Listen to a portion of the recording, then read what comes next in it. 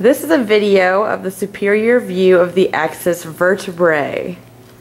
We are going to start by identifying the spinous process. Spinous process. Next, we're going to go down and identify the lamina, and as you can see, they're on both sides of the spinous process. Lamina.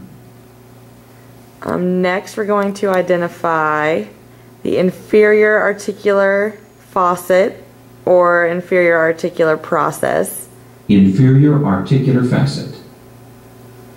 These are the pedicles. Pedicle. And then we have the transverse processes on either side. Transverse process. We have the superior articular facet or superior articular process. Superior articular facet.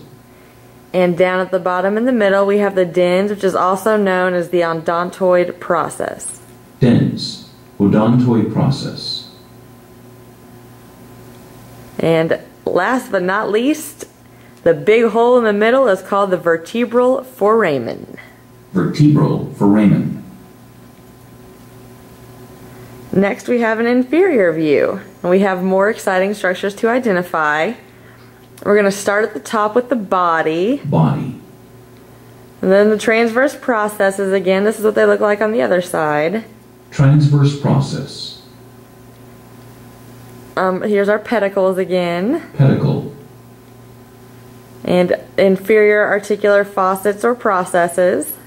Inferior articular facet. Here's our lamina. Lamina. And then here's our spinous process. It's now on the bottom. Spinous process. In the middle is our vertebral foramen. Vertebral foramen.